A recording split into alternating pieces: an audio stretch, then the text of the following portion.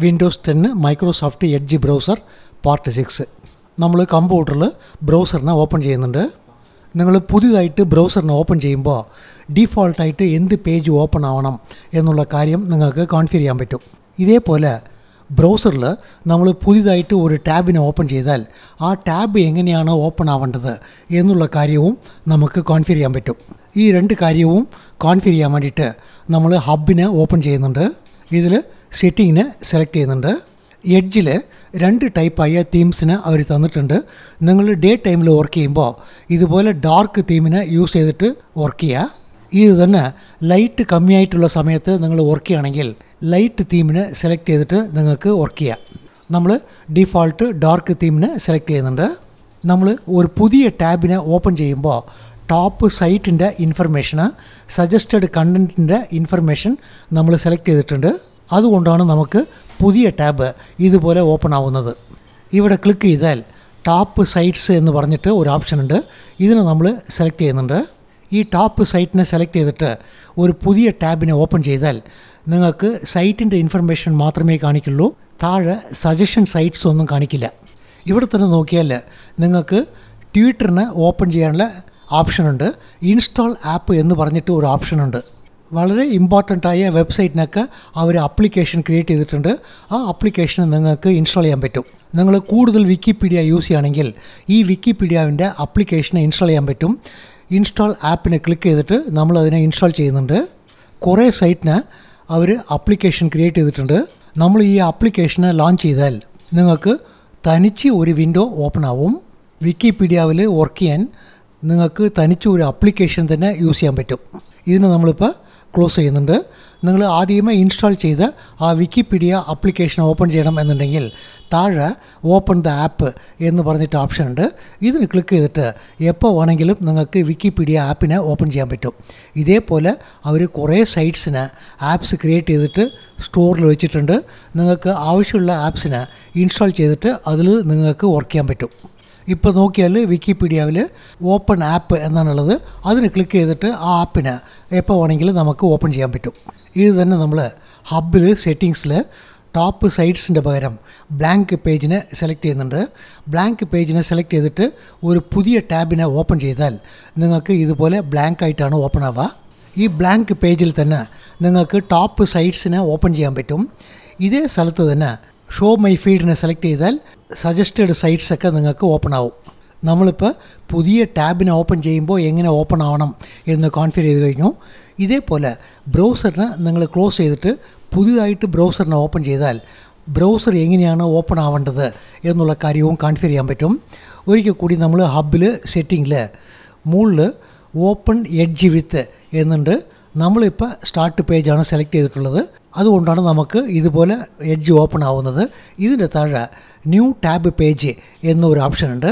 ഇത് നമ്മൾ സെലക്ട് ചെയ്താൽ താഴെ ടാബ് പേജിൽ നമ്മൾ എന്ത് സെറ്റ് ചെയ്തിട്ടുണ്ടോ അതിനെ പറ്റിയ പോലെയാണ് പേജ് ഓപ്പൺ ആവുക.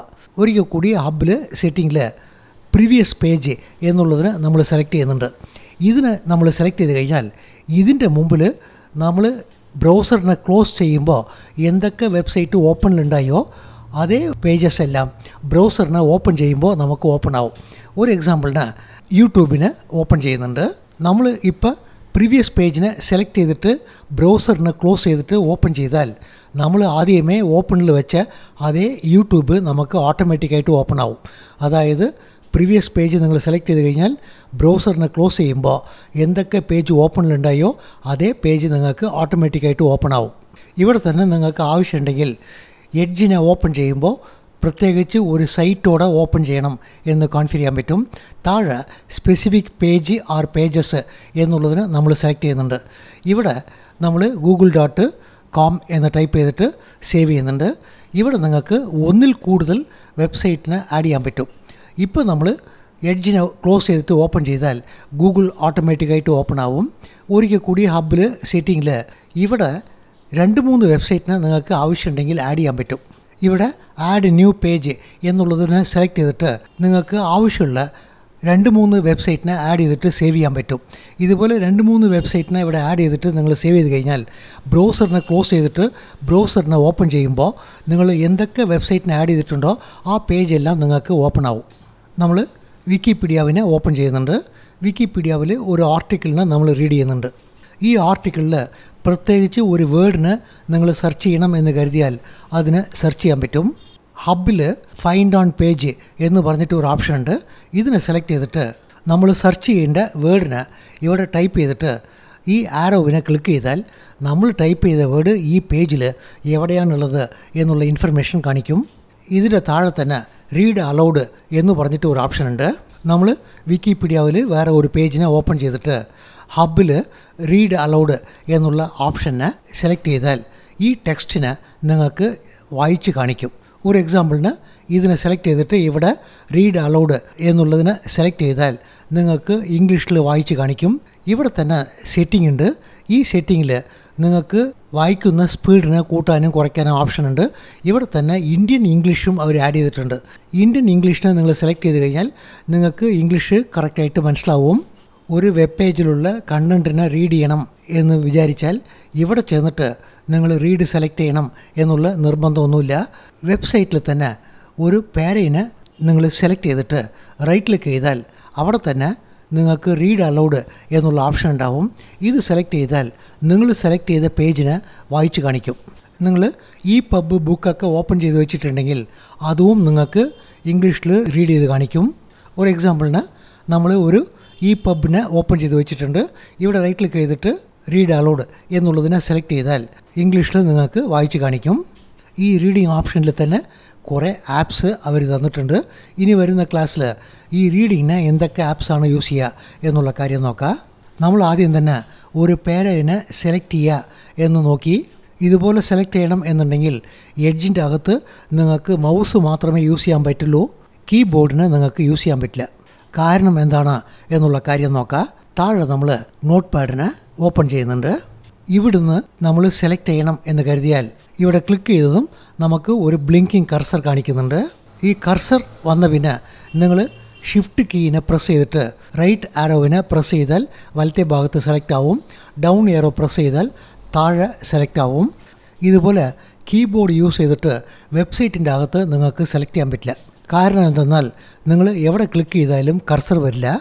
അഡ്രസ് ബാറിൽ ക്ലിക്ക് ചെയ്താൽ മാത്രമേ നിങ്ങൾക്ക് ബ്ലിങ്കിങ് കർസർ വരുള്ളൂ. ഈ ബ്ലിങ്കിങ് കർസർ ഉള്ള ലൊക്കേഷനിൽ മാത്രമേ നിങ്ങളുടെ കീബോർഡ് വർക്ക് ചെയ്യുള്ളൂ. പേജിന്റെ അകത്ത് കീബോർഡിനെ യൂസ് ചെയ്തിട്ട് സെലക്ട് ചെയ്യണം എന്ന് കരുതിയാൽ നിങ്ങൾ എഫ് സെവൻ എന്നുള്ള കീയിനെ പ്രസ് ചെയ്താൽ ടേൺ ഓൺ കാരറ്റ് ബ്രൗസിംഗ് എന്ന് പറഞ്ഞിട്ട് ഒരു ഓപ്ഷൻ കാണിക്കും. ഇതിന് നിങ്ങൾ ഓൺ ചെയ്യണം. ഇത് ഓൺ ചെയ്ത് പിന്നെ നോക്കിയാൽ നിങ്ങൾ ക്ലിക്ക് ചെയ്യുന്ന ലൊക്കേഷനിൽ നിങ്ങൾക്ക് കർസർ കാണിക്കും. ഇപ്പോൾ നമ്മൾ ഷിഫ്റ്റ് കീയിനെ പ്രസ് ചെയ്തിട്ട് റൈറ്റ് ആരോ ഡൗൺ ആരോവിനെ പ്രസ് ചെയ്തിട്ട് ടെക്സ്റ്റിനെ സെലക്ട് ചെയ്യാൻ പറ്റും.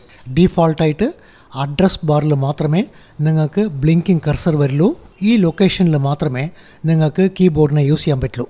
നോർമലായിട്ട് എഡ്ജ് ബ്രൗസറിൽ ഡേറ്റയുള്ള ഈ ലൊക്കേഷനിൽ നിങ്ങൾക്ക് കീബോർഡിനെ യൂസ് ചെയ്യാൻ പറ്റില്ല. കീബോർഡിന് താഴെ യൂസ് ചെയ്യണമെന്ന് കരുതിയാൽ എഫ് സെവനെ പ്രസ് ചെയ്തിട്ട് ഓൺ ചെയ്താൽ മാത്രമേ ഡേറ്റയുള്ള ലൊക്കേഷനിൽ നിങ്ങൾക്ക് കീബോർഡിനെ യൂസ് ചെയ്യാൻ പറ്റുള്ളൂ. എങ്ങനത്തെ ചുറ്റുപാടിലാണ് ഈ സെറ്റിംഗ് നമ്മൾ ചെയ്യേണ്ടത് എന്നുള്ള കാര്യം നോക്കാം. നമ്മൾ ഔട്ട്ലുക്ക് ഡോട്ട് കോം എന്നുള്ള മെയിൽ അഡ്രസ്സിനെ ഓപ്പൺ ചെയ്യുന്നുണ്ട്. ഇവിടെ നമ്മൾ കീബോർഡിനെ യൂസ് ചെയ്തിട്ട് ടൈപ്പ് ചെയ്യണം. ഇവിടെ നോക്കിയാൽ വെബ്സൈറ്റിന്റെ അകത്ത് കർസർ ഓട്ടോമാറ്റിക്കായിട്ട് വന്നു കഴിഞ്ഞു. ഇതുപോലെയുള്ള സൈറ്റിലൊക്കെ നിങ്ങൾക്ക് സൈറ്റിന്റെ അകത്ത് തന്നെ കർസർ വർക്ക് ചെയ്യും. പക്ഷേ നോർമൽ വെബ്സൈറ്റിൽ കണ്ടന്റിന്റെ അകത്ത് നിങ്ങൾക്ക് ഡീഫോൾട്ടായിട്ട് കർസർ വരില്ല. ചില സമയത്ത് നിങ്ങൾ ഇതുപോലെ മെയിലൊക്കെ ഓപ്പൺ ചെയ്താൽ നിങ്ങൾക്ക് ഇവിടെ ബ്ലിങ്കിങ് കർസർ കാണിക്കില്ല. കാണിച്ചിട്ടില്ലെങ്കിൽ നിങ്ങൾക്ക് ഇവിടെ ടൈപ്പ് ചെയ്യാൻ പറ്റില്ല. നിങ്ങൾക്ക് ടൈപ്പ് ചെയ്യാൻ പറ്റുന്നില്ല എന്നുള്ള ഒരു ചുറ്റുപാട് വന്നാൽ ബ്ലിങ്കിങ് കർസർ വന്നിട്ടില്ലെങ്കിൽ എഫ് സെവനെ പ്രസ് ചെയ്തിട്ട് ഈ ക്യാരറ്റ് ബ്രൗസിങ്ങിനെ ഓൺ ചെയ്ത് കഴിഞ്ഞാൽ നിങ്ങൾക്ക് ഓട്ടോമാറ്റിക്കായിട്ട് ബ്ലിങ്കിങ് കർസർ വന്നാലെയും നിങ്ങൾക്ക് ടൈപ്പ് ചെയ്യാൻ പറ്റും.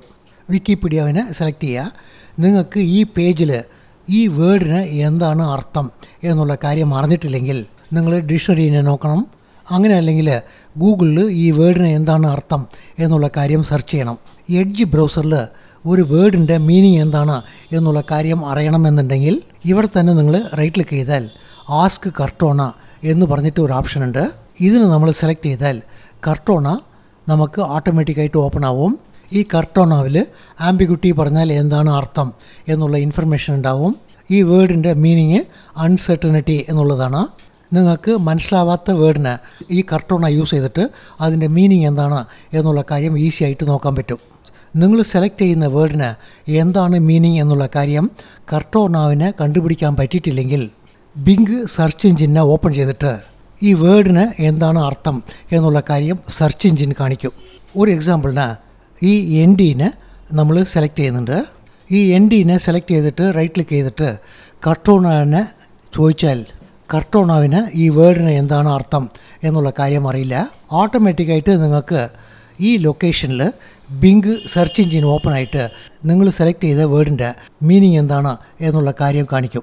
ഒരു പക്ഷേ നിങ്ങളുടെ കമ്പ്യൂട്ടറിൽ കർട്ടോണ അസിസ്റ്റൻസ് വർക്ക് ചെയ്തിട്ടില്ലെങ്കിൽ നിങ്ങളുടെ കമ്പ്യൂട്ടറിൽ കർട്ടോണാവിനെ നിങ്ങൾ കോൺഫിഗർ ചെയ്തിട്ടുണ്ടോ എന്നുള്ള കാര്യം ആദ്യം ചെക്ക് ചെയ്യണം. എന്നിട്ട് എഡ്ജിൽ കർട്ടോണാവിനെ നിങ്ങൾ എനേബിൾ ചെയ്തിട്ടുണ്ടോ എന്നുള്ള കാര്യം ചെക്ക് ചെയ്യണം. സെറ്റിങ്സിൽ അഡ്വാൻസ്ഡ് സെറ്റിങ്സിൽ താഴെ വന്നാൽ നിങ്ങൾക്ക് പ്രൈവസി എന്ന് പറഞ്ഞിട്ട് ഒരു ഓപ്ഷൻ ഉണ്ടാവും. Allow Cortana to assist Edge എന്നുള്ള ഈ സ്വിച്ചിനെ നിങ്ങൾ ഓൺ ചെയ്തിട്ടുണ്ടെങ്കിൽ മാത്രമേ നിങ്ങൾക്ക് എഡ്ജിൽ കർട്ടോണ അസിസ്റ്റൻസ് വർക്ക് ചെയ്യുള്ളൂ. ഇവിടെ ഇത് ഓണിലുണ്ടോ എന്നുള്ള കാര്യം ഒരിക്കൽ നിങ്ങൾ ചെക്ക് ചെയ്തോളണം. നമുക്ക് നെക്സ്റ്റ് ക്ലാസ്സിൽ എഡ്ജിനെ കണ്ടിന്യൂ ചെയ്യാം. താങ്ക്